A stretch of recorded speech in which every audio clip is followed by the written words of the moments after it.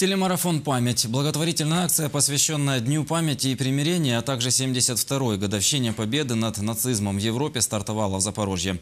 Телемарафон проводится 18-й год подряд. Собранные средства пойдут на оказание помощи ветеранам войны, участникам АТО и семьям погибших военнослужащих. Участие в акции могут принять все запорожцы. Подробная информация на сайте мэрии.